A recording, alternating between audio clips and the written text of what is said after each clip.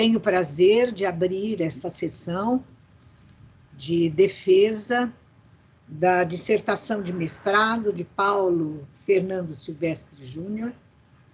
Esperamos algum tempo para ver se a gente poderia ter o evento em presença, mas já que as coisas não caminham nessa direção tão rapidamente, não podíamos mais esperar, é, não é? Com, com um trabalho que está pronto desde janeiro, e então é um prazer ter vocês aqui, finalmente esse trabalho poder ser defendido.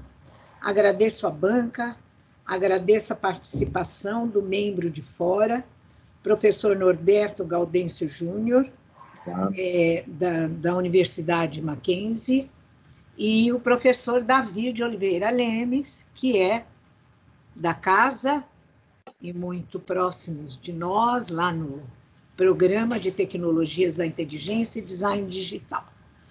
Conforme as, a praxe, não é mais, mais mais praxe do que regras, porque não são regras fechadas, mas nas minhas orientações eu costumo já passar diretamente para a discussão do trabalho pelo membro de fora primeiro e daí seguido pelo membro da universidade interna à universidade. Então eu gostaria de é, inclusive colocar para o Paulo que ele tem a oportunidade, inclusive, de, ao responder as questões, expandir um pouquinho para um possível público que tenha interesse nesta gravação. Esta gravação é aberta, é pública e, portanto, ela pode ser divulgada.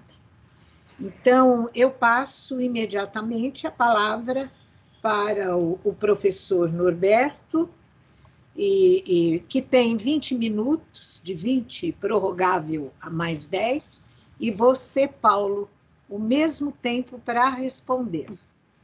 Então, com a palavra, professor Norberto. Obrigado, agradeço o convite, agradeço o convite ao Paulo, que é um professor próximo, uma pessoa conhecida. Imagino a, a ansiedade dele Todos nós estamos muito ansiosos nesse momento. Imagina, eu fico imaginando ele com um trabalho pronto aí quase quase seis, sete meses. E mas hoje hoje a gente desenrola essa situação.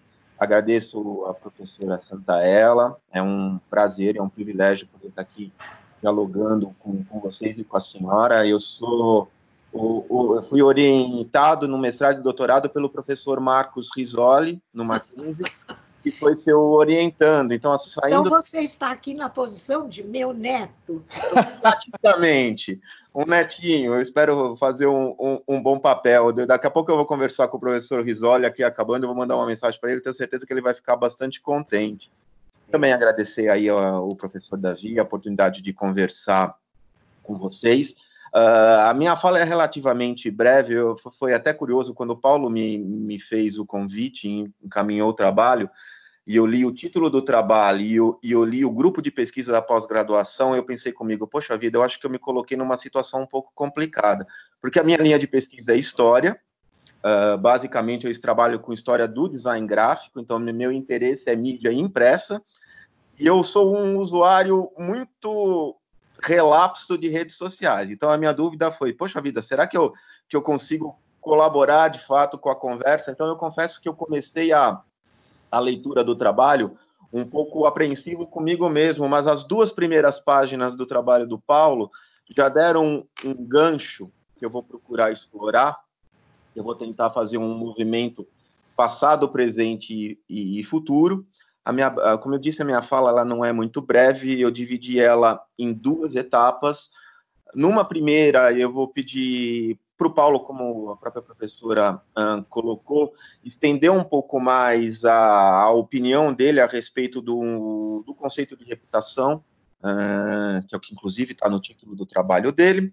E no segundo momento eu vou fazer um questionamento, talvez, daquilo que eu senti que apenas um ponto. Eu acho que o, o trabalho, ele, metodologicamente, ele está muito bem recortado e ele atende uh, tudo, tudo que o próprio Paulo se propôs a a fazer de início. Uh, mas tem um ponto que eu queria perguntar para ele se ele levou em conta, uh, que eu não vi no trabalho, enfim, se ele levou em conta para a elaboração desse trabalho ou se ele pretende uh, encaminhar esse ponto para uma investigação futura, tá? mas eu gostei bastante do trabalho. e como eu disse, eu quero tentar puxar um recorte temporal porque eu estudo modernidade, então eu estudo final do século XIX, começo do século XX, né?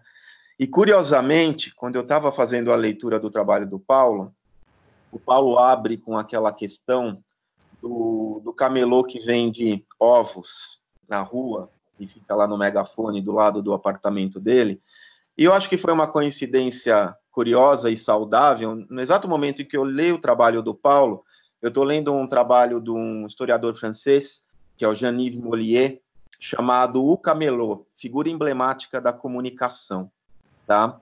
Uh, e esse trabalho, basicamente, como historiador, o Jean-Yves ele se localiza no, no século XIX, de meados do século XIX em diante, e ele vai trabalhar essa história do camelô não só como um comerciante de víveres ou de coisas diversas, mas também como uma figura de comunicação capaz de moldar as mentalidades, tá?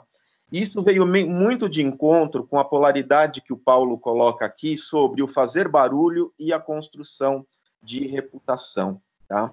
O livro tem um estudo de casos muito interessante, porque ele vai partir do movimento bulangista, que é um movimento que tenta erguer uma figura conservadora de direita militar uh, francesa ao status de quase celebridade política, e ele desemboca nas páginas finais uh, no movimento antissemita por conta do caso Dreyfus, né? o tão conhecido caso Dreyfus. Uh, e discorre sobre o papel que essa figura do camelô teve como, como moldadora da, da mentalidade e da opinião pública de uma maneira muito muito intensa, tá? E aí o gancho da galinha louca do, do trabalho do, do Paulo me fez pensar, enquanto eu li o enquanto eu lia livro, enquanto eu li o trabalho do Paulo, eu pensava assim, poxa, onde a gente vê uma rede de camelôs organizadas e organizada e até mal intencionada por parte de editores ávidos por lucro, uh, e a gente pensa em gabinete do ódio muito facilmente, né? Onde a gente lê a ideia do Paulo de construção de celebridades, né? Ainda que a palavra celebridade não apareça no trabalho dele, ela está um pouquinho subjacente. A gente percebe isso, né? E a gente vê também que nesse final do século XIX, uh, alguns historiadores pontuam como um momento em que surgem as primeiras celebridades midiáticas, entendendo celebridades no sentido não pessoas que têm um notório saber sobre algum assunto específico, mas pessoas que se tornam celebridades pelo simples fato de serem celebridades, né? Uh, isso também me fez pensar na questão dos YouTubers e do momento que esse, alguns desses YouTubers estão passando nesse momento uh, histórico específico para poderem manter a sua reputação digital diante desse quadro de pandemia. E nós tivemos aí o caso também da uh, de alguns desses youtubers que tiveram um comportamento não, não muito adequado no período de pandemia e perderam aí seus contratos com as empresas que os patrocinavam, né? O Paulo também cita no trabalho dele como um fenômeno contemporâneo a ideia da imagem e da leitura menos intensiva, né?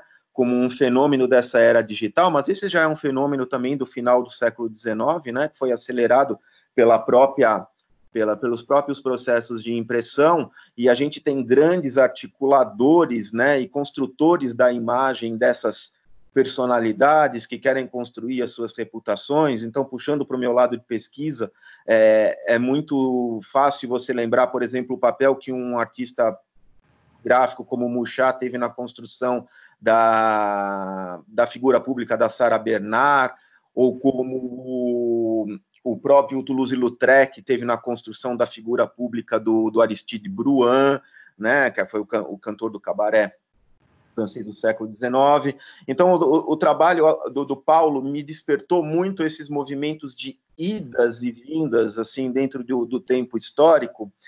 E a gente chega nesse momento de agora, que é um momento onde eu particularmente entendo que a gente está vivendo uma espécie de uma distopia digital, tá?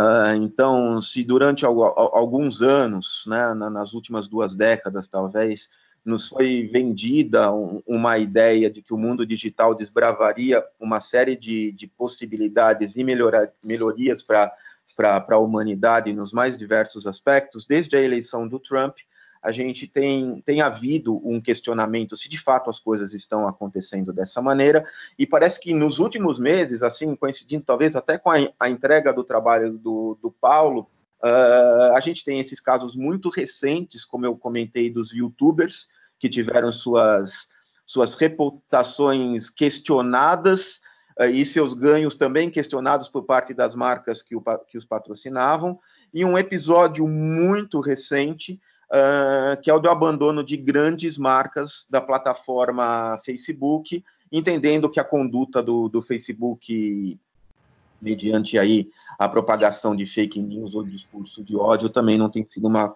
uma disputa muito, uma, uma conduta muito adequada, né? Vindo de encontro a tudo isso, não teve, não, não, eu, eu também lembrei, lendo o trabalho do Paulo, da muito uh, comentada entrevista do Felipe Neto no Roda Viva, né?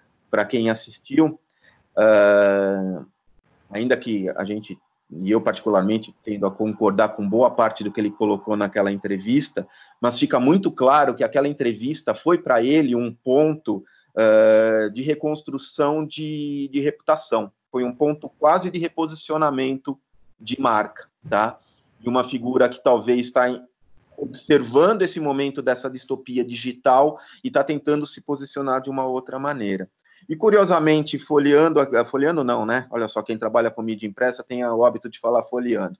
Uh, curiosamente, aqui navegando no UOL hoje de manhã, eu fui surpreendido que o Zeca Camargo, que nunca foi especialista em culinária, mas pelo simples fato de ser uma celebridade com uma reputação, vamos dizer assim, construída, vai ter um programa de gastronomia no, no UOL todos os domingos, onde ele vai cozinhar ao vivo.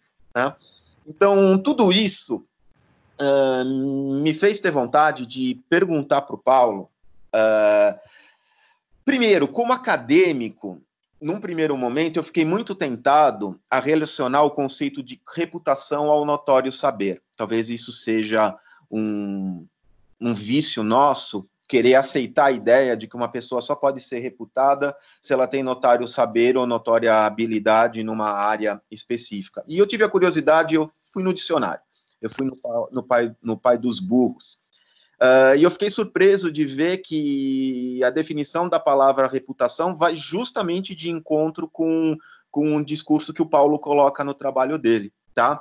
Reputação no dicionário é conceito que alguém ou algo goza num grupo humano muito específico, que tem a ideia do nicho, de você comunicar para grupos muito específicos, e reputação tem a ver com renome, estima e fama. Ou seja, em nenhum momento na própria definição da palavra reputação aparece a ideia que eu coloco aqui como do notório saber, ou de uma pessoa ter de fato um, um expertise que a credencie a ser reputada numa determinada área, tá? Então, uh, na verdade não é uma pergunta, mas eu gostaria que a hora que for concedida a, a palavra para o Paulo, e o Paulo é um personagem desta história, como ele mesmo se coloca no trabalho, ele escreve em primeira pessoa, ele se coloca como estudo de caso em um determinado momento. Eu queria perguntar para ele se ele de fato crê que essa reputação das redes sociais nesses, nesse momento de transformação que, que eu coloquei e que eu entendo que está acontecendo, se ele crê que essas reputações nas redes sociais podem, com o tempo, se tornar mais relevantes. Relevantes no sentido, de fato, uh, disso que eu estou chamando de notório saber, ou de pessoas uh, conseguirem uh, se colocar e comunicar com um público mais amplo. Uh, uh, com alguma propriedade sobre aquilo que elas de fato uh, se propõem a discorrer. E eu gostaria também que ele falasse, porque foi natural, eu tenho um LinkedIn e eu fiquei um pouco frustrado ao, ao ler que eu sou um usuário do LinkedIn old style. Eu uso o LinkedIn basicamente para colocar o meu currículo e para procurar professores para os meus, cursos de pós-graduação. E, e o Paulo deixa muito claro a possibilidade do LinkedIn tem de como de você ser um produtor de, de conteúdo e espera o conteúdo relevante. Eu queria que ele colocasse um pouco a opinião dele sobre como fica o papel do profissional acadêmico nesse contexto, né? Uh, nós vivemos nesse universo muito enclausurado, nós também conversamos para nichos, né? Conversamos entre nós, basicamente. A gente sabe que o que escrevemos na maior parte das vezes, tem uma, uma capacidade de reverbar na sociedade extremamente reduzida. É importante que a gente tenha uh, essa autocrítica a ser feita. Eu queria que ele desse a opinião dele sobre uh, como ele entende, dentro desse manual, dessa cartilha que ele propõe de construção de reputação no ambiente digital, como o profissional acadêmico pode se adequar em termos de linguagem para fazer com que sua mensagem chegue a um público mais amplo. Essa é a primeira parte do meu questionamento, que na verdade é muito mais um convite a um bate-papo do que um questionamento. A segunda parte, de fato, é algo assim que eu que eu senti um pouquinho de falta no trabalho, mas eu sempre falo senti falta com muita delicadeza, porque a gente sabe muitas vezes que o, o, trabalho é resultado daquilo que pôde ser realizado e daquilo que foi consensado entre orientador e, e orientando. Então, a pergunta vai muito mais no sentido de, de entender se isso passou pelo seu radar de pesquisa e se você entende que isso é passível de um desdobramento. Eu achei que o trabalho ele teve uma abordagem muito quantitativa, muito estatística, né? E de fato foi o que, como eu coloquei, foi o que você se propôs a fazer um trabalho. Mas eu senti falta, talvez, de um estudo de caso onde você selecionasse é, é, esses profissionais formadores de opinião com suas respectivas reputações dos diferentes grupos que você apresenta, né? Aqueles que são contratados pelo LinkedIn, aquele do grupo ao qual você pertence, que isso é o grupo que emergiu de maneira orgânica e que angariou aí uma série de seguidores. Eu queria saber se não passou uh, no seu projeto de, de, elaboração do trabalho a ideia de fazer um estudo comparativo e se deparar sobre o e aí um estudo talvez mais qualitativo, se deparando sobre as características dos conteúdos produzidos por alguns destes personagens. Eu, como não usuário de, de rede social, eu senti um pouco de falta de entender quem eram aquelas pessoas. Você cita os nomes, mas assim, eu não sei quem são aquelas pessoas, eu não sei o conteúdo que elas produzem, se não passou, então, uh, se você não teve a, a, a, não pensou na possibilidade, ou se pensa futuramente, de um estudo de caso em pegar, de repente, uma mesma área de atuação, formadores de opinião da área de política e economia. Aí você tem lá o Ricardo Amorim num dos grupos, você poderia fazer um estudo de caso posicionando um outro personagem, um outro personagem, e fazer uma leitura qualitativa do conteúdo que eles produzem. Tá? Então, esses basicamente são os dois pontos que eu coloco, Paulo. Se sinta à vontade assim para para discorrer na, da maneira como você quiser. Como a professora disse, também é uma possibilidade da gente ampliar a conversa para outras pessoas que, porventura, vão, vão acessar esse, esse diálogo. E tendo em vista a quantidade de seguidores que você tem no LinkedIn, acho que dessa vez nós vamos conversar com bastante gente. Né? Então, eu acho que é uma oportunidade também de, de você trabalhar isso um pouquinho mais aí para a gente. Obrigado e parabéns pelo trabalho. Professor, acho que está sem Paulo, com a palavra, responder as questões e aproveitar o momento para expandir um pouco para o público o conhecimento do seu trabalho. Muito bem. Bom, obrigado. É, bom, é, obrigado pela presença de todos aí, primeiramente, não. Professora Lúcia, minha orientadora, o professor Norberto, que já iniciou os questionamentos, o professor Davi também. É um prazer aí e, e uma felicidade estar aqui hoje. E curiosamente, não, é, de certa forma, é até interessante a gente estar tá fazendo essa defesa online, porque tem muito a ver com o próprio, né, com o nosso próprio uh, uh, trabalho aqui, né, de construir reputação em um meio digital. Não, e, e, enfim, como eu até coloquei no trabalho, isso, isso é alguma coisa que remonta desde 1987, quando eu ainda estava entrando na adolescência e fiquei online pela primeira vez e eu decidi que eu nunca mais ia querer sair daquilo, daquilo lá. Não? Realmente foi uma experiência absolutamente arrebatadora. E é interessante ver os, uh, os pontos trazidos pro, pelo professor Norberto, não? os pontos históricos, para ver que realmente é, como é importante nós conhecermos a história, porque ela realmente se repete, não? Ah, coisas que, que, que, que, que é, se manifestaram aí no século XIX e estão reaparecendo agora, claro que com diferentes roupagens e uma nova característica tecnológica, certo? Mas a gente vê a figura aí do camelô, né?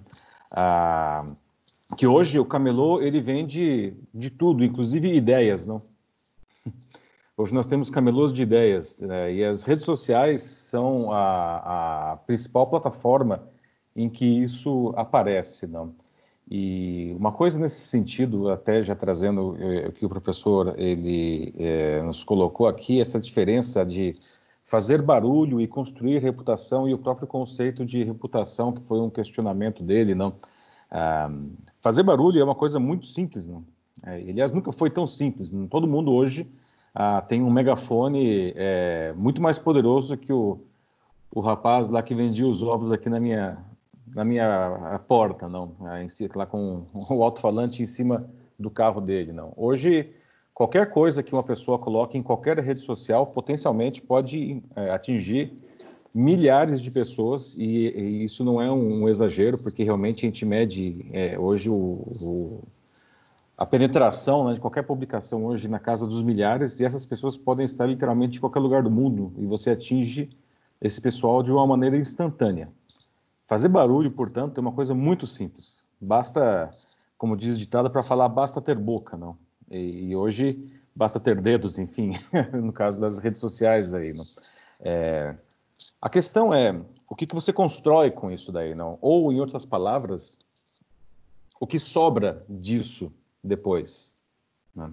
ah, porque até levando um pouco para o lado do, do marketing, a gente pode citar bastante o Kotler, que foi usado ah, como uma das principais referências teóricas desse trabalho, não? É, as marcas, e hoje todos nós somos marcas, o que a gente já começa a entrar no lado, no, na defesa da questão da, da, reputação em si. Hoje todo mundo é marca e todo mundo é veículo, quer queira, quer não. Uma criança que você quer é alfabetizada, hoje ela é veículo, porque ela consegue produzir conteúdo quando ela pega o celular da mãe dela uhum. e tira uma foto para postar no Instagram e a criança é capaz de fazer isso, o que aliás demonstra o sucesso da interface, porque hoje a criança ela nem é, é, é alfabetizada e ela é produtora de conteúdo. E esse conteúdo produzido pela criança atinge potencialmente pessoas em qualquer lugar do mundo. Né? É, então, a, a, a, gente começa a entrar. Né? o que o Kotler dizia é que nesse universo, nesse mar de, de informação, né? Ah, nós precisamos encontrar uma maneira de nos diferenciar. Né? O, o, o, um outro referencial teórico que foi o Mark Sheffer, que ele cunha o conceito de, de, é, é, de, de, de, de mar de, conteúdo, não? É, de, o choque de conteúdo, que é o conceito que ele, que ele traz, não? Ah, uma das grandes dificuldades hoje que nós temos como seres humanos, não? é que é, a humanidade hoje, os termos dele, não, ela produz mais conteúdo do que é capaz de consumir. E isso não é um, um abuso de linguagem, isso é, é, a pura realidade, no sentido de que todo mundo produz conteúdo. Então, como que a gente faz para se diferenciar nesse, nesse oceano de conteúdo, né, ah, em que todo mundo aparentemente está em pé de igualdade e que fazer barulho é muito fácil? E aí nós entramos justamente na definição da reputação a, que foi colocado no trabalho que, como você mesmo colocou, está muito em linha com o que está no dicionário. Né? Reputação é, é, alguma, não é alguma coisa que você é, compra. Né? Você constrói essa reputação e, claro que existe uma questão do notório saber, né? É, mas hoje em dia o que a gente observa é que a reputação é alguma coisa que nos é concedida pelo grupo que a gente faz parte. E quando a gente pensa em redes sociais, esse grupo pode ser um grupo absolutamente disperso, inclusive de pessoas que nós não temos a menor ideia de quem seja, mas que nos seguem. Né? Então, é, reputação, portanto, é, é, é, uma característica hoje que nós recebemos, que nos é concedida a partir desse grupo que gosta do que nós fazemos, tá? Ah, e aí talvez venha uma diferença em relação à questão do notório saber, é que pessoas que, que, que academicamente falando não tenham esse notório saber, conseguem ter uma incrível reputação junto ao seu público. Porque eles, eles primeira coisa, né, é, eles se, se conhecem muito bem, então tem uma questão de autoconhecimento, eles sabem no que eles são bons, e isso não tem nada a ver com ser bom do ponto de vista acadêmico. É, você citou o caso do Felipe Neto, que é uma pessoa que construiu uma reputação enorme, e em um primeiro momento ele, ele mudou bastante de um tempo para cá, mas de um primeiro momento ele fazia coisas como cobrir o irmão dele de Amoeba e coisas do tipo assim. Ele construiu uma reputação de milhões de seguidores, literalmente, que gostavam de ver ele fazendo essas coisas, não cobrir o irmão de Amoeba, né? que foi, aliás, o, talvez um dos primeiros vídeos aí que viralizaram entre esses youtubers teens né, na, na, plataforma do, do, do YouTube. Não?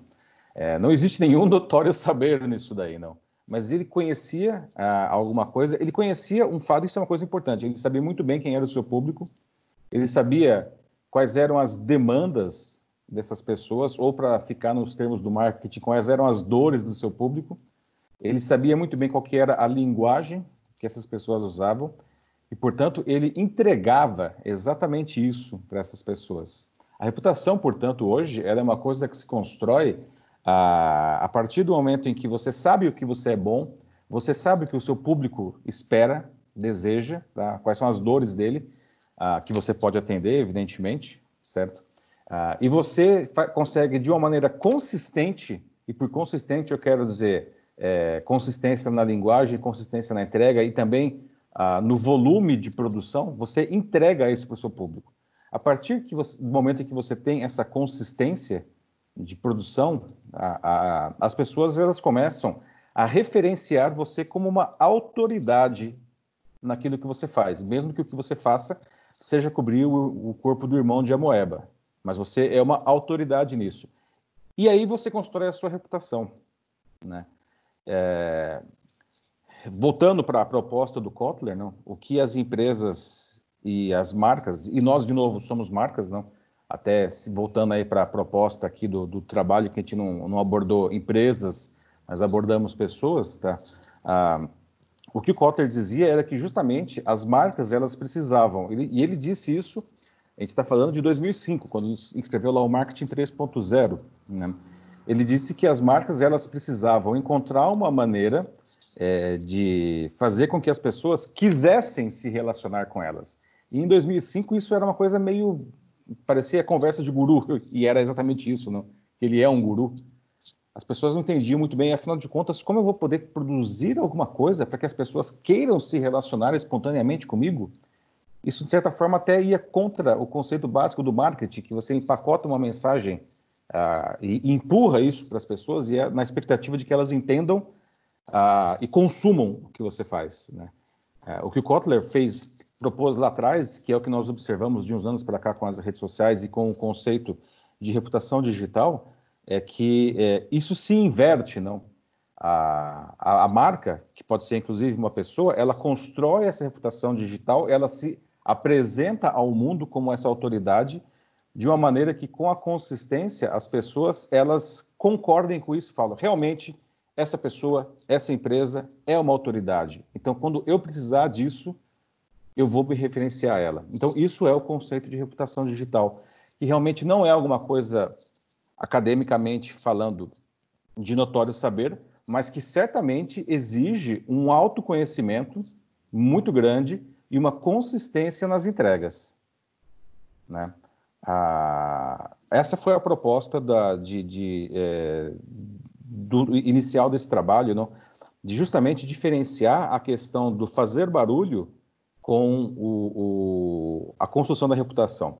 Porque mesmo em uma plataforma como o LinkedIn, é uma coisa interessante de se observar isso, isso ficou muito claro, inclusive ao longo do trabalho, no trabalho ele começou a ser feito em 2018, e parece que fosse há pouco tempo, mas muitas coisas mudaram nas plataformas de 2018 para cá. É uma coisa, é, é, um dos desafios, talvez, desse trabalho foi dar conta dessa mudança acelerada. Não? Praticamente, o objeto de, de estudo era um alvo em movimento. Não? Ah, em 2019 teve uma grande mudança nesse sentido de que as pessoas que faziam barulho começaram a aparecer com muita força na plataforma e aí eu falei, meu Deus, as pessoas estão destruindo aqui o meu projeto. Comecei a entrar assim uh, em pânico, falei, nossa, vai cair tudo por terra. E para mim, a grata surpresa, na verdade, isso acabou reforçando uh, o que se estava estudando. Porque, de fato, sim, surgiu um grupo que começou a fazer muito barulho nas redes sociais e no LinkedIn, inclusivamente, é, é, inclusive, tá? É, essas pessoas, elas tinham até uma boa visibilidade, ou seja, eles estavam fazendo barulho. É como o rapaz que vende os ovos aí, cara está gritando na minha porta, as pessoas descem dos prédios para comprar os ovos, não? Mas essas pessoas, no final das contas, elas não conseguiam construir essa reputação. Elas só estavam fazendo barulho. Muito barulho, o que gerava grande movimento, mas não se construía a reputação. Então eu falei, poxa vida, que bom que isso aconteceu, porque na verdade isso ajudou até a corroborar a proposta. Né? Ah, o outro ponto que o professor é, trouxe foi com relação a fazer uma comparação mais qualitativa dos conteúdos, né? Isso foi um desafio interessante. Da, na verdade, isso foi contemplado ah, no, no, trabalho, mas ah, o desafio aí foi como apresentar, quais seriam os elementos que definiriam, que mapeariam as características de, de, dos conteúdos apresentados, não? E, foram, foram levantados 10 pontos, né? Ah, que na prática acabavam sendo pontos qualitativos, mas o objetivo aqui ah, do trabalho era tentar eh, justamente identificar semelhanças entre as produções dessas 60 pessoas que foram contempladas no estudo, 15 de cada um dos quatro grupos. Né? É, como, como mapear semelhanças, tentar identificar semelhanças ah, dessas pessoas dentro do grupo a qual elas faziam parte, ou seja, os influencers, os top voices, pessoas que não pertenciam a isso, mas que tinham bom, boa, é, boa visibilidade, e pessoas que produziam e tinham uma visibilidade menor, esses eram os quatro grupos, não? Ah, então, é, era uma comparação, no final das contas, qualitativa, é, de, de é, como identificar, é, é, como comparar a produção de cada uma dessas 60, 60 pessoas dentro do grupo do qual elas faziam parte e dentro do grupo como um todo, é, do universo representado, representado por essa amostra de 60 pessoas. Então foram trabalhadas ah, essas, esses 10, essas 10 variáveis para justamente identificar essas semelhanças. Não? E o estudo, na verdade, ele demonstrou algumas conclusões bastante interessantes não? que permitiram saber, por exemplo, ah, o que dá certo e eu coloco esse dar certo entre aspas, porque, como o próprio estudo é, é, deixa claro, isso aqui não é um manual de como escrever bem no LinkedIn, porque, na verdade, isso não existe, não.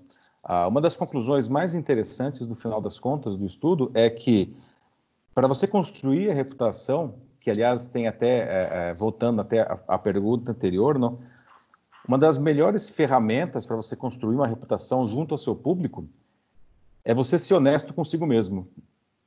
O que, aliás, aparece em várias entrevistas que foram feitas com, é, não só com, essas, com é, é, essas pessoas que foram pesquisadas, mas também com editores do LinkedIn. Né?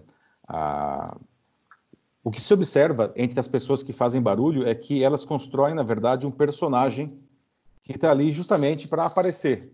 Né? Muitos fogos de artifício, muita purpurina, muito brilho, muitas luzes, mas aquilo é falso, não? E isso transparece, as pessoas identificam isso nas redes sociais. Portanto, é, uma das melhores coisas para você construir uma autoridade é você ser fiel com você mesmo, você ser verdadeiro, porque isso transparece na produção do seu conteúdo. Claro que existem é, temas que acabam sendo mais caros para a plataforma, e cada plataforma tem a sua característica. No caso do LinkedIn, ah, os temas que dão mais certo, isso também aparece no estudo, não? são os temas de inspiração. Apesar de muita gente falar que o LinkedIn é uma rede quadrada, isso é uma visão, na verdade, distorcida da, da, da plataforma, mas ela certamente é uma rede muito mais séria do que, digamos, o Facebook. Né? Ah, mas mesmo assim, mesmo sendo uma rede mais séria, né, publicações de inspiração acabam dando muito certo. Publicações da área de RH Então, aí você inclui recolocação, dicas a, a, de, de trabalho mesmo, também trazem excelente, da, muito apelo a, entre os usuários, né? Tem, e questões de marketing também é, tem um bom, um bom resultado na plataforma. Né? Então, isso de certa forma foi contemplado. Eu acredito que em um estudo posterior, né, de um doutorado, isso poderia ser bastante ampliado. Aliás, eu acho que a gente está vivendo um momento não, bastante interessante, é, não necessariamente agradável, mas certamente interessante nas redes sociais, ah, porque a gente vê a capacidade de, de mais do que simplesmente você construir manutenção, e é por isso que eu digo que isso seria um estudo bastante interessante para um doutorado, a efetiva manipulação de massas, que seria talvez um, uma ampliação, uma ampliação até maquiavélica de, do conceito da reputação, né, com um objetivo claro, ah, que é o que a gente observa hoje nas redes, não? E isso se faz, se você observar é, esses, os grupos ah, políticos, econômicos que estão manipulando as massas, o que eles fizeram originalmente foi construir uma reputação. Uma reputação junto ao público que eles têm. A reputação é interessante porque ela está intimamente ligada ao público. Né? Você não consegue agradar todo mundo, nunca, ninguém agrada todo mundo. Né? A reputação ela está associada a você conhecer também o seu público, né? Então, é, eu acho que sim, a gente poderia ampliar esse estudo é, até nesse momento uh, que a gente está vivendo, porque uh, você é, conhecer os recursos que as plataformas nos oferecem uh, para produzir esses conteúdos, e aí vale dizer que conteúdos podem ser inclusive fake news, pode ser deepfake, certo? você está, na verdade, reforçando os seus conceitos, né? É a história do camelô, né? Que hoje o camelô vende até as ideias, não? E, e poxa vida, as ideias movem o mundo, não? E você mencionou até a eleição do Trump, não? A... Isso nunca foi tão verdade, não? Isso deixa de ser uma mera expressão e hoje realmente a, a, quem consegue construir uma reputação nas redes e você consegue dominar as plataformas e esses recursos você literalmente consegue hoje dominar o mundo né, com suas ideias. Então, não sei se eu uh, respondi as perguntas, tá ok? Então, muito bem. Obrigado, professor. Está satisfeito, Norberto? Sim, sim, sim. Pode dar então, para Norberto, você reparou que eu estou com uma caneca do Mackenzie? Não reparei, professor. Olha só. Foi a última palestra que eu dei presencial. Eu acho que eu estava lá. Mackenzie, ganhei esta caneca. Foi no CCL, eu estava lá. coincidência, porque é a caneca que eu uso para tomar meu café de manhã. Uhum. Muito bem, então eu passo a palavra para o professor Davi. Tem também 20 minutos, prorrogável. Ótimo. Vocês estão me escutando? Professor Sim. Davi. Sim? Sim, tá ótimo. É porque no meio da, assim, no final da fala do Norberto, meu computador reiniciou. Aí eu, aí eu entrei pelo celular rapidamente, perdi talvez uns 40 segundos aí. E quando ele se recompôs, apareceu que o microfone não estava funcionando, mas enfim, é, tá tudo ok, deu, deu, deu deu certo, eu não, não, não perdi nada. Não. Primeiro, em primeiro lugar, eu estou muito contente, muito feliz é, de estar aqui neste momento, né? É, por, por, por, vários motivos, eu vou tentar elencá-los aqui. Né? Primeiro que eu conheço o Paulo, eu acho que, assim, vendo, lendo agora e pegando algumas datas no trabalho dele, acho que eu já conheço o Paulo há 21 anos, se eu não me engano, né? Exatamente. Desde, exatamente 21 anos, né? desde que nós fomos, desde que eu conheci ele na America Online, quando a gente foi trabalhar juntos, trabalhamos juntos na AOL, e ele cita isso lá no, quando ele fala da jornada do autor, lá no, no, no capítulo 7, no tópico 7 do, do, seu trabalho, ele cita a América Online e eu conheci o Paulo naquele momento, né? Então, é, é, esse momento é um momento de muita felicidade, um momento de confluência de várias coisas que aconteceram nos últimos anos, né? Então, eu, fiquei, eu fico muito contente de estar aqui neste momento, né? Porque é, nos meus contatos com o Paulo, constantes nesses últimos é, 20 anos, eu sempre vi que, desde que eu ingressei aí na, na vida acadêmica, que o Paulo seria uma pessoa que faria muita diferença se estivesse nesse ambiente também, e fico contente de poder ter, é, de alguma forma, colaborado com isso, né? É, de diversas de diversas maneiras. Né? Um, um primeiro ponto, e, e eu me lembro muito bem, por isso que é um momento de felicidade, de confluência, quando a professora Lúcia, há alguns anos, eu não vou conseguir é, é, indicar exatamente a data, me, me chamou para uma conversa e falou: temos um curso aqui de extensão que nasceu no TID e que deu alguns probleminhas, você não quer cuidar dele a partir de agora, né? O curso se chamava Redes Sociais, Colaboração e Mobilidade. Eu perguntei na ocasião para a professora Lúcia o seguinte: a gente pode mudar um pouquinho esse curso, né? Ela falou: pode fazer o que você quiser. A primeira coisa que eu fiz naquele momento foi, foi ligar para o Paulo. Falou: Paulo, tem um curso aqui, você não está assim, acho que você se encaixa nele perfeitamente para dar aula aqui, né? E aí a gente, assim, reformulei o curso, mantivemos alguns professores e o Paulo foi um desses professores é, que chegou naquele curso naquele momento que a professora Lúcia passou essa essa missão aí, né? Então, assim, eu acho que esse é o momento de, de quando as histórias é, é, se unem e, e eu, eu, fico muito contente por isso, né? Mas, olhando para o trabalho e fazendo, contando uma outra história também, né? Eu me lembro muito bem quando a American Online fechou, é, é acabou a sua operação no Brasil, eu tinha como projeto pessoal, assim, é, fazer um mestrado. Eu sabia que o TID, pelas notícias que corriam na PUC, iriam começar, né? Só que quando a American Online fechou, o TID não tinha começado efetivamente ainda, e eu lembro que eu fui fazer um curso na COGEAI, ele se chamava Jornalismo Multimídia, né? E aí eu abandonei esse curso quando o TID, de fato, é, começou e eu ingressei no programa é, de mestrado, né? Mas por que, que eu estou contando isso? Porque eu lembro que numa ocasião, né, o, por uma série de confluências novamente, né, eu, a American Online fechou, eu fui trabalhar com uma amiga nossa, que era diretora de conteúdo da Silva Bassi, na PC Word, e comecei a fazer aqui o mestrado no TID, né, e fui trabalhar na divisão de tecnologia da informação aqui da, da PUC com o professor Vitor. Eu me lembro uma vez que fui almoçar com o Paulo, eu já estava no meio do mestrado já, e o Paulo falou o seguinte para mim, né? Falou, oh, você devia dar uma cuidada lá no... Eu acho que isso era 2007, 2008, né? Seu LinkedIn tá abandonado, rapaz. Dá uma, dá uma olhada naquilo lá, né? Não pode ficar desse jeito. Eu falei, é mesmo, cara? Né? E aquilo ficou martelando, né? Eu voltei para PUC, depois voltei para casa e eu lembro que naquela noite eu preenchi, eu fiz tudo que tinha que fazer no LinkedIn naquela ocasião, né? Tudo, absolutamente tudo, né? Coloquei tudo lá, não tinha obviamente essa questão da produção de conteúdo, né? Mas e eu lembro que assim sete dias depois que eu fiz isso, e isso eu conto no relógio, o IBMEC, agora a INSPER, entrou em contato comigo e aí, assim, eu fazia o mestrado ainda, eu troquei a PUC pelo INSPER e fui trabalhar no INSPER e eles tinham encontrado o meu perfil no LinkedIn, né?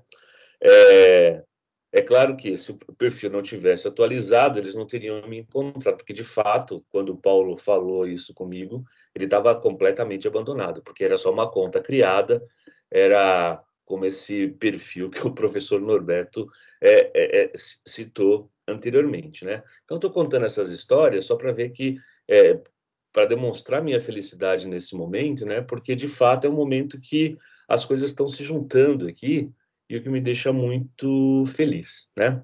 Gostei muito de toda a estruturação do trabalho, de como o, Paulo aborda, né?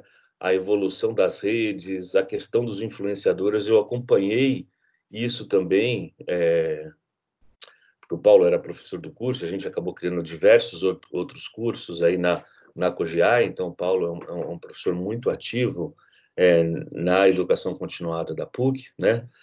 É, e eu acompanhei esse movimento aí também do, do Paulo produzindo muito conteúdo para essa rede social e até chegando aí na posição de top voice de um grande é, influenciador, né? A questão da reputação digital já, já foi tratada, eu achei excelente a colocação feita pelo professor Norberto e também todas as, as considerações feitas pelo Paulo, mas tem uma coisa importante que eu gostaria é, de conversar, Paulo, assim, primeiro, assim, parabéns por toda a trajetória de novo, né? O trabalho está super bem estruturado, super bem escrito. Ele mostra uma evolução incrível da qualificação para cá, né? Tem todas as análises é, quantitativas que você se propôs a fazer, tem também as qualitativas em, em alguns momentos. É, eu não conheço todas as pessoas que você selecionou, mas algumas eu conheço pessoalmente e outras de, de, da rede mesmo, né? Você acaba frequentando bastante a rede, você acaba vendo, né? Então, assim, eu acho que tem um, um caminho muito interessante. Gostei muito lá da, da sua história. Eu acho que a jornada do autor faltou alguns detalhes a mais ali que você poderia ter colocado, né, na, naquela na jornada, mas eu acho que está muito interessante. Eu gostaria também de, de começar essa conversa e fazer essa conversa no seguinte ponto, né? É, essas comunidades virtuais e essas redes é, digitais, né, elas passam por constantes atualizações, né? É, e eu gostaria de, assim, de, como, de que fosse de fato uma conversa, né? E, e, e, recentemente, muito recentemente, muito provavelmente depois de você ter concluído a redação do trabalho, essa própria rede social que você estuda passou por uma atualização dessa, né? Onde o algoritmo de relevância, que acho que você trata no 3.2, se eu não me engano, deixa eu só me certificar, né?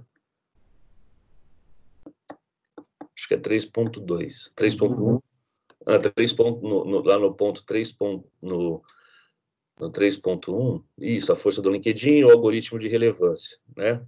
Nós fala da evolução, enfim. É, o algoritmo de relevância ele passou por uma por uma atualização, né? E uma atualização que parece que mexeu um pouco com a rede, né? Como que você enxerga exatamente isso, né? Porque assim existiu um modo de funcionamento e fez com que é, reverberasse os conteúdos e de diversas pessoas e, e muitos produzissem o barulho que você comentou anteriormente e outros trabalharam na construção de reputação, né? E de repente, quando isso, tudo isso está indo numa direção, né? A própria rede muda o seu modo de funcionamento e tudo parte para uma outra direção, né? Queria ver como, assim, para começar a nossa conversa sobre o seu trabalho, Queria que você falasse um pouco disso, né? essa mudança no algoritmo de relevância e como isso impacta os usuários e como isso, de uma forma ou de outra, também impacta o seu trabalho. Bom, muito bem. Ah, bom, obrigado. Realmente, o professor Davi, né, é, é, já se conhece há 21 anos e ele é um grande incentivador é, do meu lado acadêmico. Né? Certamente eu estou aqui hoje por influência dele, não foi é, é, ele que me convenceu aí em um primeiro momento que o mestrado era necessário e ainda bem que eu dei ouvidos a ele, não, que, que realmente foi uma jornada de, de conhecimento profunda e, e, incrível, né, que eu recomendo fortemente hoje para todo mundo, não. Ah, mas é, respondendo a sua pergunta, a questão do algoritmo de relevância, o algoritmo de relevância ele talvez seja ah, no sentido genérico da palavra, um dos sistemas mais importantes da atualidade, não? porque ele, ele, é, é ele que nos diz o que ver. Né? Ah, e, e, o algoritmo de relevância não aparece só nas redes sociais, não. Por exemplo, o algoritmo de relevância mais importante do mundo é o PageRank, que é o algoritmo do Google, não? Que é o que determina quais são as páginas que aparecem primeiro na, na, na, nas respostas do, do buscador, ou quais são as notícias que vão aparecer primeiro no Google Notícias e por aí mais. Aliás, tem até uma, uma curiosidade que aparece no trabalho, não, o nome do algoritmo é PageRank, e muita gente acha que é isso significa ranking de páginas, mas na verdade PageRank se refere ao nome do, de um dos fundadores do Google, que é o Larry Page. Né? É, parece até uma piada pronta, que o cara que criou o Google chama Larry Page, que você poderia dizer como Larry Página. Né? É, o PageRank não é ranking da página, PageRank é o, é o ranking do page, que é o cara, né? Ah, o algoritmo de relevância, portanto, ele é um subsistema presente em diferentes plataformas e as redes sociais também, é, que determina a, o que a gente vai ver. E esse, isso é um poder imenso na mão dessas empresas. Porque é, até alguns conteúdos que, que não aparecem no, no estudo, não, mas é, que, estudos feitos pelo próprio. Existe um estudo uh, feito pelo, pelo Facebook de, em 2012 que se chama Transferências de Estados Emocionais de um cientista político, do cientista social do próprio Facebook chamado Adam Kramer, ah, em que ele conseguiu comprovar um estudo bastante sério, saiu na Proceedings, foi publicado na Proceedings em 2015, é, em que ele conseguiu comprovar de uma maneira estatisticamente irrefutável que manipulando o feed de notícias, que é o algoritmo do Facebook, isso sim aparece no estudo, não? manipulando o feed de notícias, e ele fez isso, ele manipulou o feed de notícias de 700 mil usuários durante uma semana, ele conseguiu deixar as pessoas mais felizes ou mais tristes. Ele comprovou isso daí. Simplesmente manipulando o que essas pessoas viriam. Ele criou dois grupos, né, dividiu em dois esses 700 mil usuários, e durante uma semana, é, com uma manipulação dos algoritmos, ele fez com que no feed de notícias 350 mil pessoas vissem só conteúdos que fossem, como ele dizia no estudo, positivos ou neutros. E o outro grupo via só conteúdos negativos ou neutros. Né? É, não quer dizer que as pessoas não veriam, se elas entrassem na página dos amigos, elas não veriam todo o conteúdo. Estaria lá, mas no feed de notícias, e, aí de, e é por isso que se reforça a importância do algoritmo de, de relevância. Não?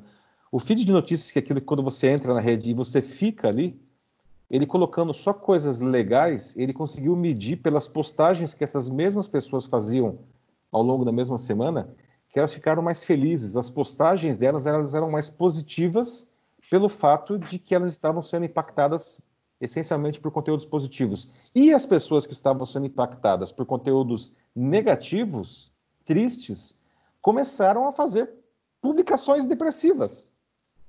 E ele fez isso, ele, ele literalmente manipulou 700 mil pessoas simplesmente escolhendo de uma maneira automatizada, né, o, é, é o sistema, ele escolhia fazer uma análise semântica automática, porque imagine, são milhões de publicações para 700 mil pessoas, não? Simplesmente escolhendo o que essas pessoas veriam, ele deixou as pessoas mais alegres ou mais tristes. E ele comprovou isso daí. Então veja o poder que nós temos, né, que essas empresas têm ah, no, no, algoritmo de relevância. Né? E, e aí, seguindo na, na linha da, da, sua pergunta, não, uma coisa que aparece também no estudo, um outro, um outro estudo do próprio Facebook, não, ah, que é um estudo de 2013, portanto a gente está falando de sete anos atrás, eles, esse estudo ele identificou que quando um dado usuário, em 2013, levando em consideração a média de pessoas que cada um segue e das páginas que cada um segue, não, ele, ele, ele seria, digamos assim, impactável por 1.500 publicações disponíveis naquele momento, hum. dessas pessoas e dessas marcas, não? Mas o próprio Facebook sabe que é impossível, ninguém consegue ler 1.500 publicações em um dia, ele não consegue nem passar por 1.500 publicações em um dia. E o número mágico que eles é, levantaram naquele momento é que daria tempo de você, você ver 300 publicações. Ora, mas quais são essas publicações? Desse universo de 1.500, e hoje esse número certamente seria muito maior, porque hoje a gente segue muito mais pessoas, segue muito mais páginas, não? Em 2013 seriam 1.500 publicações. Quais dessas 1.500 eu vou ver? Quais serão as 300 selecionadas? E essa é justamente a função do algoritmo de relevância. E aí tem cada rede tem as suas, a sua regra, né? E isso eu falo que isso é o ouro do bandido, porque se alguém realmente conhecesse todas essas regras, ele poderia fazer publicações que atendesse atendesse sempre isso daí, e as suas publicações elas sempre apareceriam mais. Então essa esse, essa informação ela não é revelada, pelo menos não de uma maneira é, total e cada rede tem as suas características. E essas, essas regras elas estão em constante mudança, como você mesmo colocou. Né? Depois, de fato, que o, que, que o estudo ah, foi depositado, o LinkedIn fez mudanças profundas né, no algoritmo dele e que provocou assim um, uma variação grande uh, na visibilidade né, das publicações da, dos usuários. O que, aliás, de alguns meses para cá, vem provocando uma verdadeira gritaria dentro da plataforma. Né? Muitas pessoas estão chateadas, muitas pessoas, inclusive, argumentam que elas estão querendo produzir menos no LinkedIn, uh, porque a, a, a, visibilidade das suas postagens caiu demais de uns meses para cá. E isso é uma coisa mais ou menos geral. Claro que ainda existem usuários que conseguem performar né, bem né, dentro do LinkedIn, mesmo com essas mudanças. Não? E aí, isso é uma coisa que é bastante interessante de se observar, porque o algoritmo de relevância ele realmente é um alvo em movimento. Uhum. Às vezes você encontra, digamos assim, é, como se fosse um veio de ouro, não? Você encontra esse veio e você começa, ainda que de uma maneira empírica ou não, você encontra esse veio e você começa a fazer essa produção e para ter os bons resultados. E aí de repente alguém na plataforma decide mudar tudo. E aí você você continua fazendo aquilo que você fazia e de repente aquilo não dá certo. É, você precisa tomar uma decisão aí de se o que você quer fazer e como você faz nas redes sociais vai mudar ou não. Porque provavelmente, se você quiser voltar a ter a, o nível de exibição que você tinha antes, você precisa mudar. E, de novo, isso vale para tudo, não? A, o, o, o, Google é um caso. Isso aparece muito, né? Às vezes as pessoas que, que vendem coisas pelo Google ou veículos de comunicação que dependem profundamente do Google para ter visibilidade. O ano, o ano passado, inclusive, é, o Google fez uma grande mudança no algoritmo de relevância dele é, que impactou profundamente veículos de comunicação. De, literalmente, literalmente, da noite para o dia, é, alguns veículos perderam 70% da audiência. 70% da audiência do veículo caiu da noite para o dia, porque o Google alterou o algoritmo de relevância. E assim, alterou e agora se vira, certo? Eu não vou contar o que, que eu mudei. Né? agora, Voltando até na questão da reputação que foi trazida pelo professor Norberto antes, não? A gente também não pode se transformar em escravo do algoritmo de relevância. É, porque, como o próprio estudo demonstrou, e isso se mantém mesmo com essas mudanças é, do algoritmo, tá? A, a coisa mais importante para você construir reputação é você ser fiel com você mesmo. Né? É, muitos usuários, é, eles, eles ficam correndo atrás do algoritmo, eles estão sempre à caça do algoritmo, porque eles querem continuar fazendo barulho. Né? Eu, eu produzo pauta para o algoritmo, né? Exatamente. Você, você não está produzindo pauta naquilo que você acredita, você não está é, genuinamente querendo atender o seu público. Você está simplesmente querendo correr atrás do algoritmo. E é claro que a gente precisa agradar o algoritmo, porque é esse cara que vai fazer com que a gente apareça, mas a gente não pode se tornar um escravo dele. Existe uma diferença grande aí. Tá? É, de fato, realmente, o, LinkedIn é, mudou esse algoritmo. Ah, em alguns casos, hoje, os usuários têm 10% da visibilidade do que eles tinham é, há uns dois anos atrás. Né?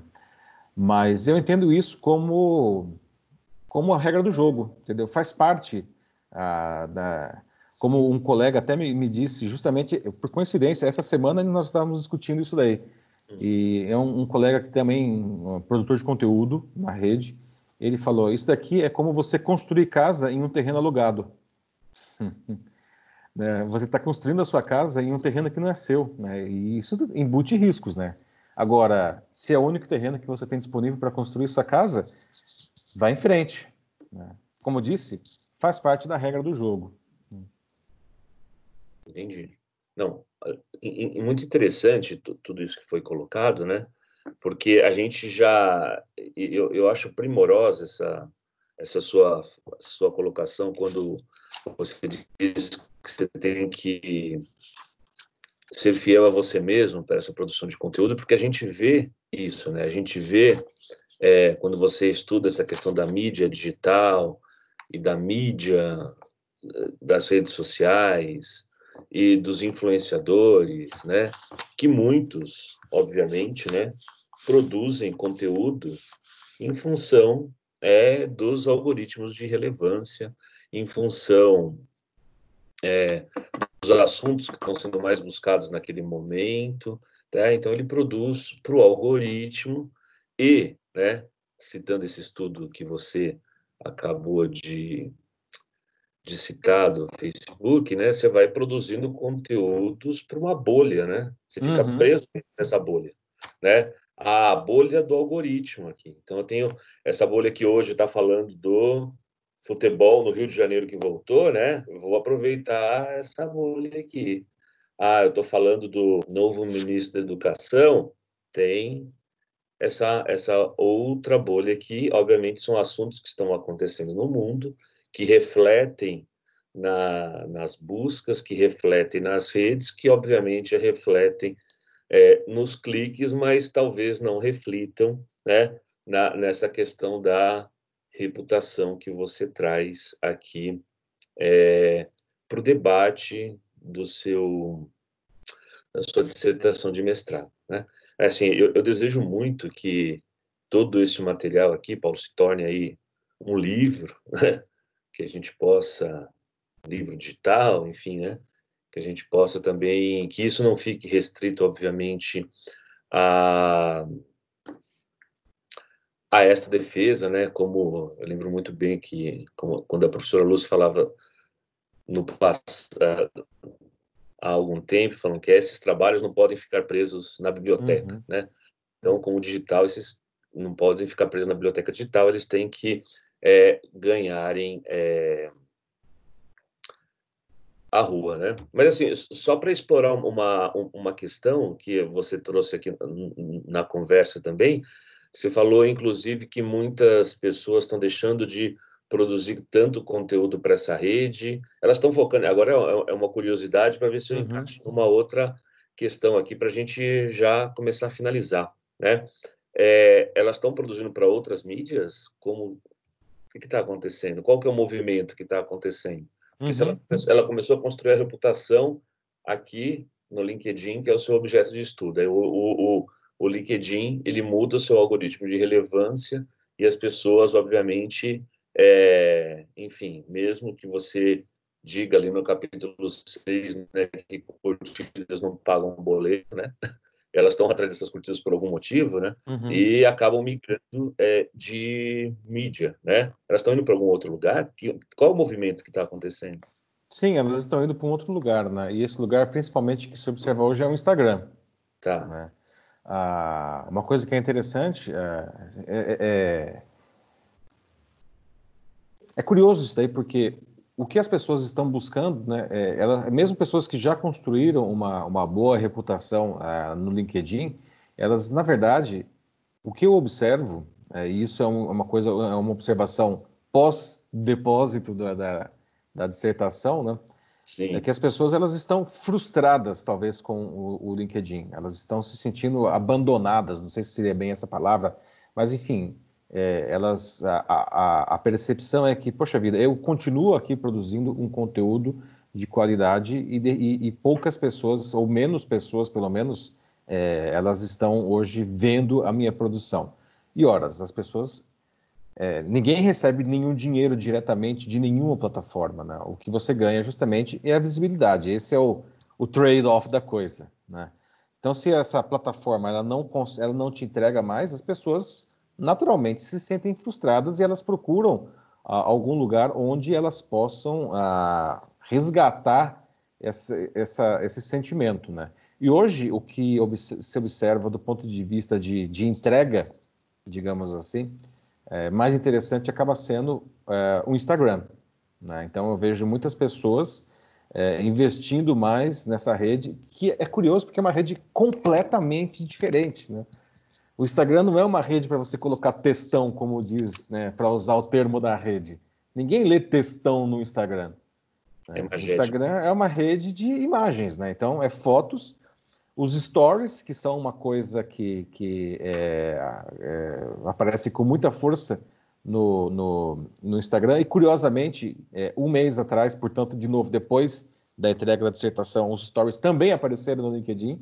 Então, o LinkedIn, se observa que ele está tentando é, correr atrás aí desse, de, de, dessa, desses usuários é, é, perdidos aí, né?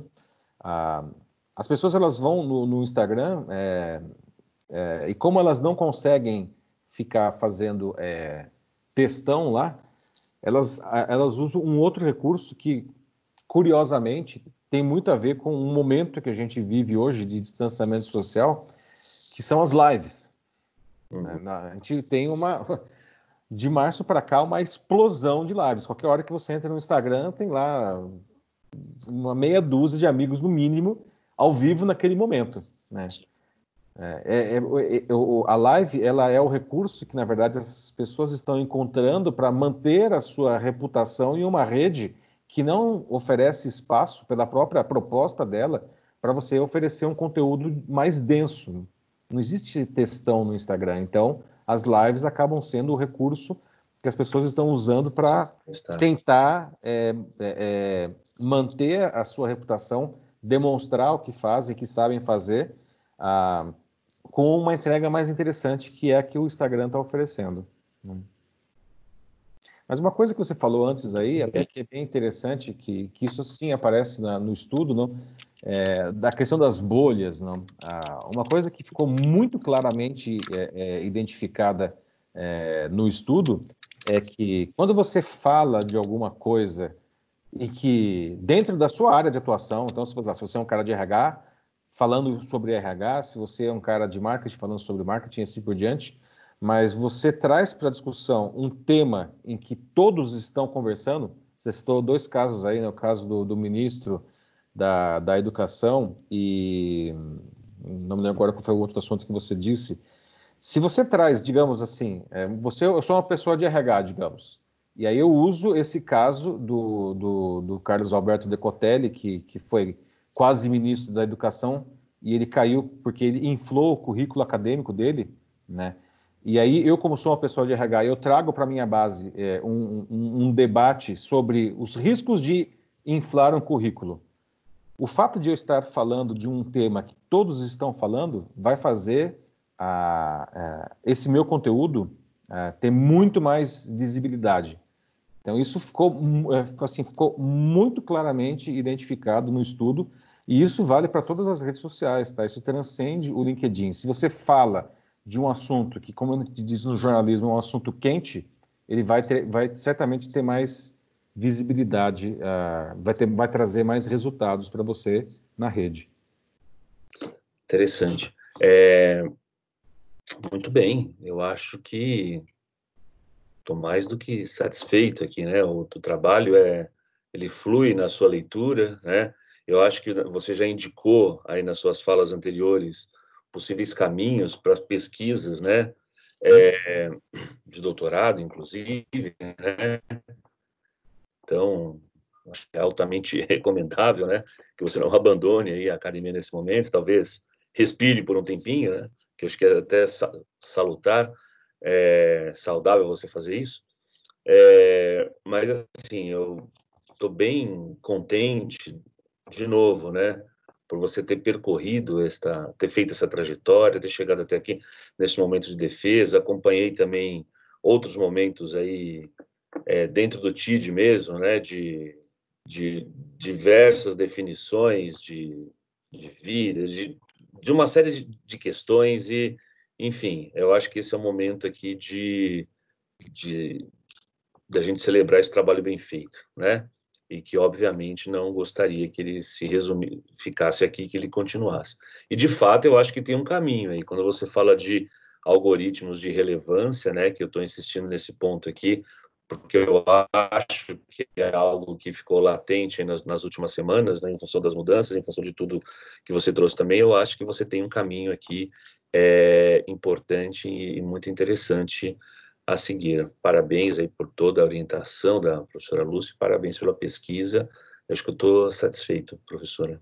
Obrigado, obrigado. E realmente, ciência boa é ciência que, que vai para a sociedade, né? A gente não está aqui para para produzir volumes para ficar tomando poeira só, não. Isso é, por favor, né? Que vire aí um e-book, que vire um livro do PIPEC, que vire, enfim, tem muitos caminhos que a professora Lúcia conhece muito bem, acho que poderá te orientar nessa trajetória também. Obrigado. Bem, então, agora chegou a minha vez eu não costumo simplesmente. Eu estou olhando aqui o relógio, que o Davi tem outro compromisso, eu também tenho uma outra banca, mas eu não costumo simplesmente fechar sem que eu tome um pouquinho a palavra.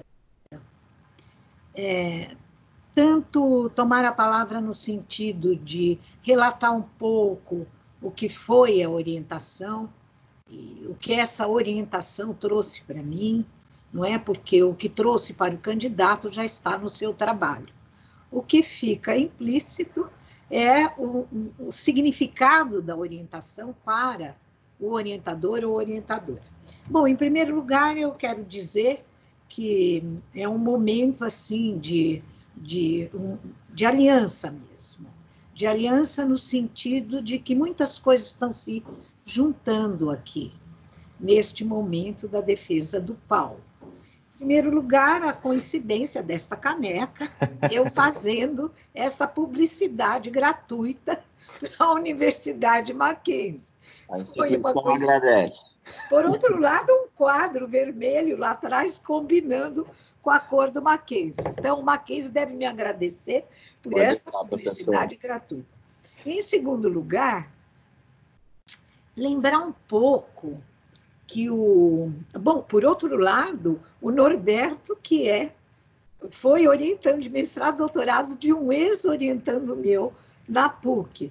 Então, são coisas que vão se juntando e que tornam, não é, alguns momentos da nossa vida, assim, um cruzamento de história, não é, e de histórias que se juntam. Bom, é, então, em primeiro lugar, eu queria um pouquinho falar com, com o Norberto que eu estou escrevendo um livro é, sobre as, as sete revoluções cognitivas dos Sapiens, e eu acabei de escrever o capítulo sobre a modernidade. Então, fim do século XIX, que vai até os anos 50, e que eu chamo o apogeu da, da cultura de massas. Então, apreciei muito é, as suas colocações sobre o seu conhecimento desse período da história. E, e também lembrar a história, porque eu tenho, eu tenho repetido muito agora a, a seguinte frase: nós não podemos ficar, nós não podemos ficar presos ao imediatismo. Exatamente. Em tudo, e principalmente na cultura, a dimensão do tempo, ela é fundamental, porque o presente, ele sempre engana. Se você fica preso no presente, ele é enganador. Uhum. Inclusive, não é o trabalho do Paulo, tem tudo a ver com isto, porque está trabalhando com um objeto que é um objeto em movimento constante e transformação constante. Então, é, quanto à presença do Davi nesta banca, que trouxe, aliás, uma lembrança que eu já tinha me esquecido, porque o que eu me lembro muito, Davi, é que você é filho dos cursos que eu criei na PUC. Em primeiro lugar, você fez o TechMid. Exatamente, professor. Que hoje não é se transformou num curso maravilhoso. De design. Que foi se adaptando ao tempo e às transformações no tempo. E graças ao Diogo, não é? Esta figura incrível que é o Diogo Cortis, que eu tenho muito orgulho de tê-lo lá no TID, ele transformou esse curso, não é? é design, num curso de design, assim, modelar. Então, é, você foi aluno do TecMid, das primeiras turmas. Depois você entrou no TID, fez o mestrado, fez o doutorado.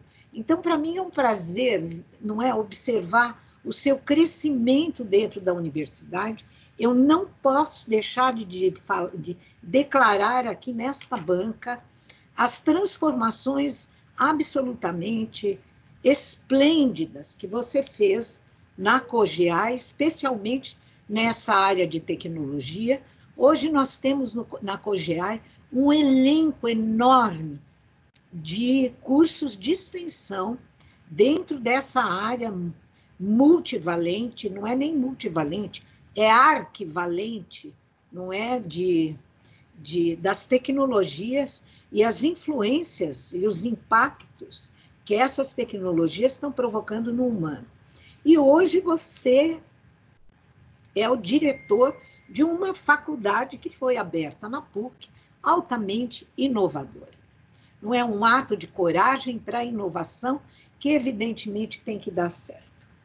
Então, agora eu entro um pouquinho no diálogo que eu tive com Paulo. Eu agradeço o Davi por ter mandado Paulo para o TID. É, são pessoas que enriquecem o nosso trabalho, que trazem um feedback, uma contribuição enorme, não apenas para o orientador, mas também para o programa. Eu não acredito no trabalho isolado. Não existe mais aquele intelectual do século XIX ou aquele intelectual que vai até os anos 60, fechado no seu escritório. Cada vez mais o trabalho hoje é trabalho coletivo, colaborativo, é um trabalho solidário, onde um cresce com o diálogo com o outro e com a escuta do outro. Então, evidentemente, eu cresci muito como orientadora, acompanhando esse trabalho do Paulo. O Paulo já era, quando ele entrou no programa, já era o mestre Avan Laleta. Ou seja, o trabalho dele, que preenche todos os requisitos, e vai além, daqui a pouco eu falo disso, preenche todos os requisitos da, da, do, do, do, daquilo que é exigido para o mestrado. Quando ele chegou é, para a orientação, e, indicado pelo Davi, eu falei, pronto, claro, a orientação tem que ser minha, né? Aliás, eu recebo esses presentes de boa vontade.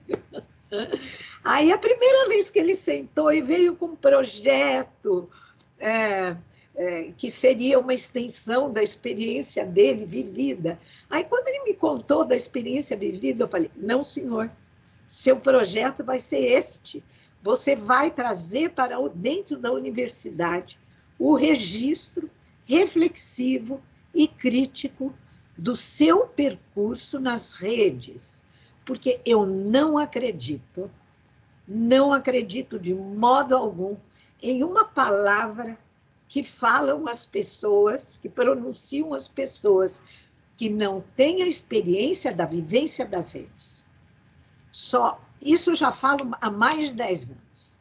Só pode falar das redes aqueles que estão dentro dela, vivendo e sabendo como elas funcionam. Então, imagine, o Paulo é um exemplo exemplar. Por outro lado, é, é eu não consigo mesmo, não é, é, assim, me conter na admiração que eu tenho pelas pessoas, e eu acho que isso é importantíssimo no mundo que nós vivemos.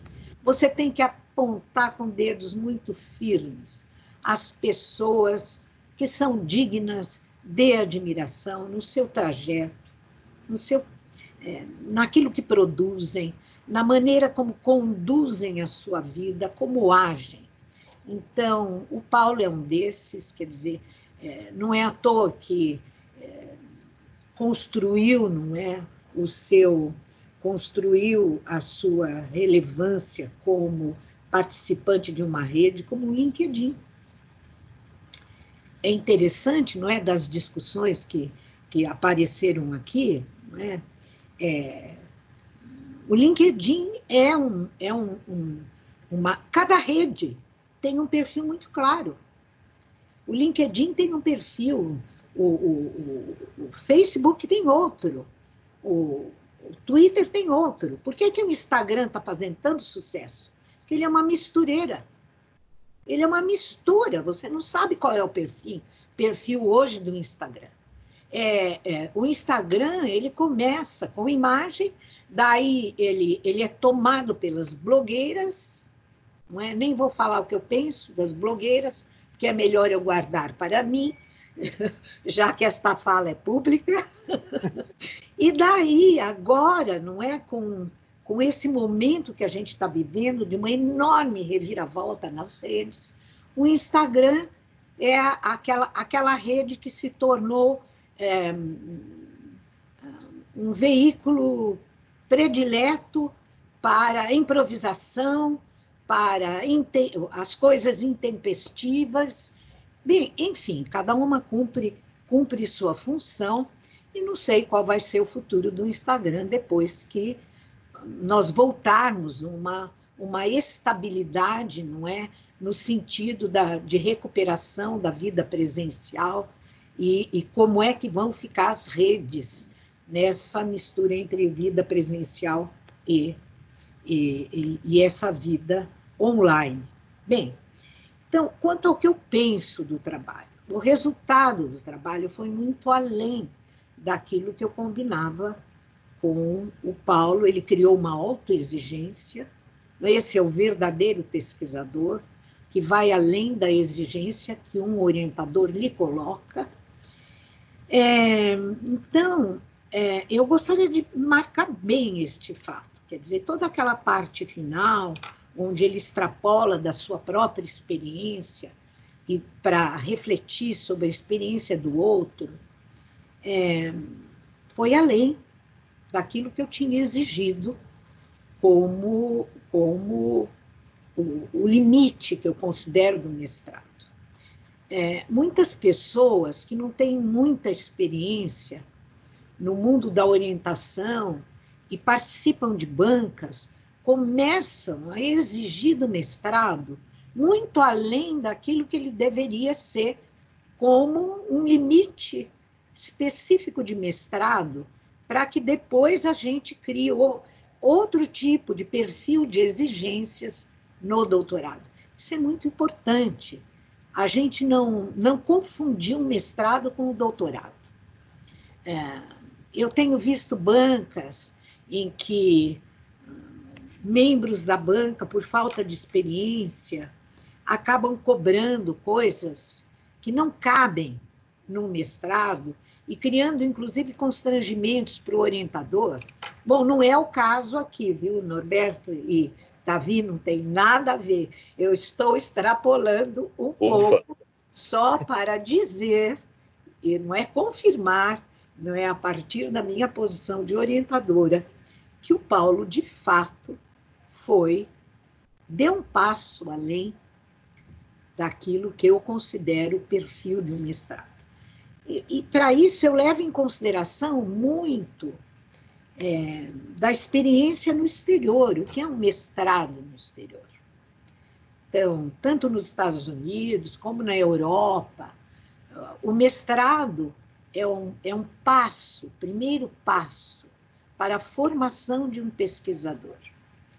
Então, é nesse ponto que eu chego e para dizer que eu, eu, eu assim, tenho na minha cabeça, e não sai da minha cabeça e do meu pensamento, que o Paulo tem que continuar o doutorado. Infelizmente, perdemos é, bolsas, é, inclusive no TID, as bolsas de doutorado, a perda foi muito grande. Então, tem pessoas que eu considero que não poderiam parar, que estão assim no caminho, é? a estrada está aberta para continuar o doutorado, e infelizmente a gente não tem, não conta com bolsas para essa continuidade. Inclusive, as duas defesas de hoje, a do Paulo e a do Luiz Felipe, são defesas é, que eu sinto demais não ter bolsa para oferecer, para poder dar continuidade ao doutorado. Mas esse dia chegará, Paulo. Então, aqui, é, eu tenho muito orgulho de ter o seu trabalho, não é, no meu currículo, Logo, logo eu chego a 300 dissertações e teses defendidas. Algumas delas me dão um profundo orgulho. Ah, eu acho que aprendi muito com você, porque você está dentro das redes, conhece as redes. Então, essa contribuição que você traz para ah, a reflexão sobre as redes, né? uma reflexão segura e sólida. Então, ah, sem dúvida nenhuma, eu acho que é um trabalho que precisa ser publicado. Não é? Algumas coisas têm que ser colocadas no seu lugar, pingos nos is, nesta balbúrdia, não é? Nesse cacho de marimbondos soltos que viraram, que, vi, que se, em que se transformaram as redes. Então, é preciso mesmo que a gente tenha trabalhos publicados sérios e trabalhos é, como o seu, em que é, são trabalhos em que você pertence às redes e, ao mesmo tempo, traz de volta um discurso é, digno. Nós estamos num momento em que a luta pela dignidade do conhecimento se tornou uma meta para nós cotidiana. Então, é uma luta de resistência. Então, não é? É verdade. Nós estamos atravessando momentos muito difíceis e a gente tem que manter é, esse esteio, esse esteio dentro de nós e que só pode ter continuidade e só pode se alimentar pelo esteio que a gente vê no outro. Então, eu agradeço muito o seu trabalho, ele enriquece o TID, ele enriquece os ideais pelos quais o programa TecMid e depois o TID nasceram. Então é isso. Muito obrigada pela participação, Norberto. Muito obrigada pela participação, Davi. Professora, você me permite rapidamente aqui, eh, a senhora citou essa questão dos fatos que ficaram na memória, né? Eu ainda me lembro exatamente, é, não todas as palavras, mas toda a sua essência da aula inaugural de TecMid que eu participei, agora não lembro o nome, é o ano 2000, 2001, né? Onde a senhora falou sobre Walter Benjamin, a obra de arte na era da sua reprodutibilidade técnica, né? E aquilo, de fato, é, como dizem nas redes, e os mais jovens, eu vou me permitir, né? Eu parei ali na cadeira e senti que né, estava no lugar certo e minha mente estava explodindo ali em função daquela aula inaugural. lembro como se fosse hoje, né? Então tenho muito orgulho aí de participar dessa história, de fazer parte dessa história e continuar é, hoje construindo aí é, essa história também. Mas, assim, eu não lembro se foi 2000, 2001, 2002, enfim, 2001, né? 2001 era uma aula inaugural e o tema, é, enfim, foram vários assuntos, né? Mas me lembro muito bem de tudo. Tanto é que a primeira coisa que eu quis fazer depois disso foi a carteirinha da biblioteca para pegar o livro onde tinha esse ensaio.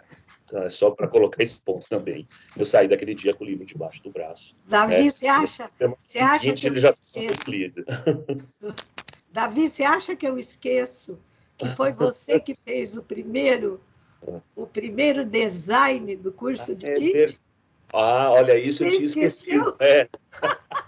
Aquele design lindo, é, a gente sentado lado a lado, lá naquela mesinha do Tite, e você desenhando, e, e, e, a gente construindo a arquitetura de a informação. Arquitetura do, é, foi você. E é isso, Roger Pascoal junto também. Isso. É isso. verdade. Ah, esse fato eu tinha esquecido, ó, lembrei agora. Precisei dar uma, uma usar o meu algoritmo de reputação aqui para buscar.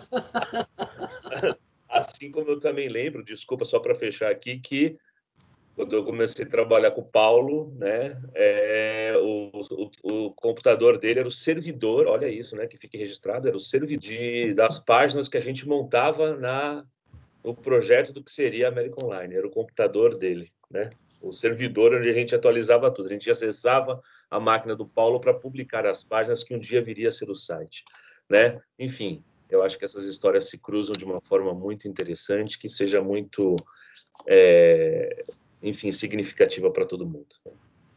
Muito obrigada. É. Obrigada. Então agora o Diego tem que voltar. Isso, é, acho que tem que chamá-lo, né? É, tem que chamá-lo. Está aqui, eu acho, né?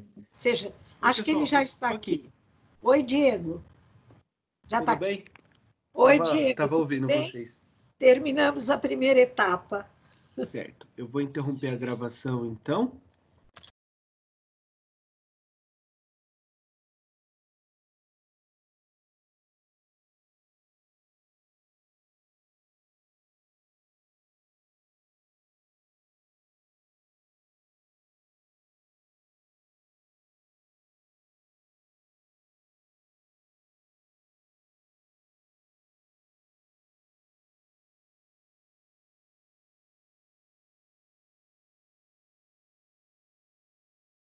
Agora a minha tarefa é ler, vou ler a ata e daí dizer na, no decorrer da leitura da ata qual foi o resultado.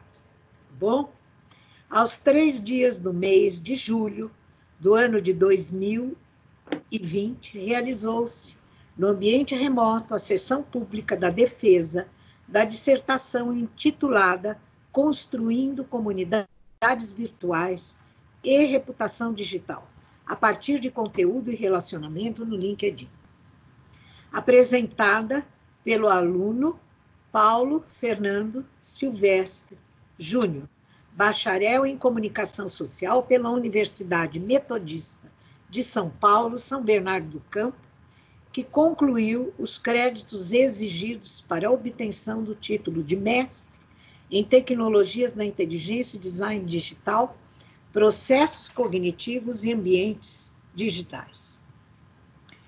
É, segundo o encaminhado, encaminhamento da professora Maria Lúcia Santaella Braga, coordenadora do Programa de Estudos Pós-Graduados em Tecnologias da Inteligência e Design Digital, da Pontifícia Universidade Católica de São Paulo, e segundo registros constantes nos arquivos da Secretaria Acadêmica da Pós-Graduação.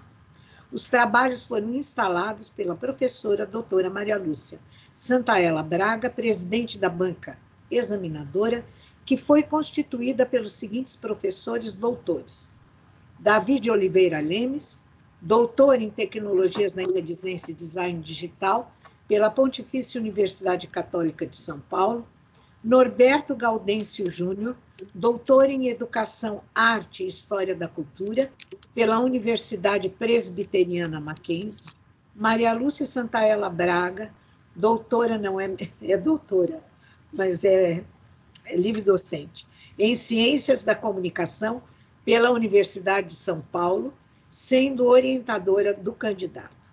A banca examinadora, tendo decidido aceitar a dissertação, passou a arguição pública do candidato. Encerrados os trabalhos de arguição, os examinadores deram parecer final sobre a dissertação, tendo sido atribuídas ao candidato as seguintes notas. Professor doutor David Oliveira Lemes, nota 10. Professor doutor Norberto Gaudêncio Júnior, nota 10. Professora doutora Maria Lúcia Santaella Braga, nota 10. O candidato foi aprovado com a média 10, merecidíssima. Muito obrigado, muito obrigado mesmo. Obrigado pela. Parabéns, Paulo.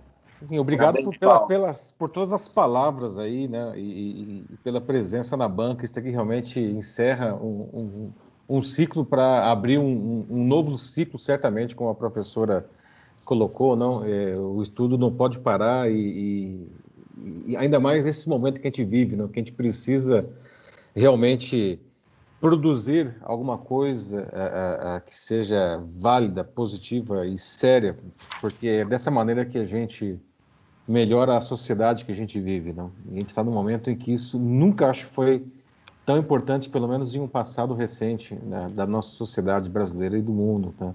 Então é uma, sinceramente, uma alegria e uma honra é, ter participado de todo esse, esse processo e, e de ter coroado hoje uh, isso com, com essa banca e com a presença de todos vocês. Agradeço profundamente a todos e particularmente a professora Lúcia, que me acompanhou nesse, nesse trajeto todo aí e, antes de mais nada, de uma maneira totalmente inspiradora, não? Porque realmente é, é isso mesmo que, que eu posso dizer. É, de tudo que aconteceu nesses últimos dois anos. Enfim, agradeço mesmo. Muito obrigado. Legal, Paulo. Então, Parabéns. Parabéns, Paulo. Você merece. Parabéns mesmo. Obrigada. Obrigada, Norberto. Obrigada, Eu Davi. agradeço o convite. Obrigada, um prazer conversar com vocês. Tchau, Tá? pessoal. Pessoal, Mestre Paulo. Vamos,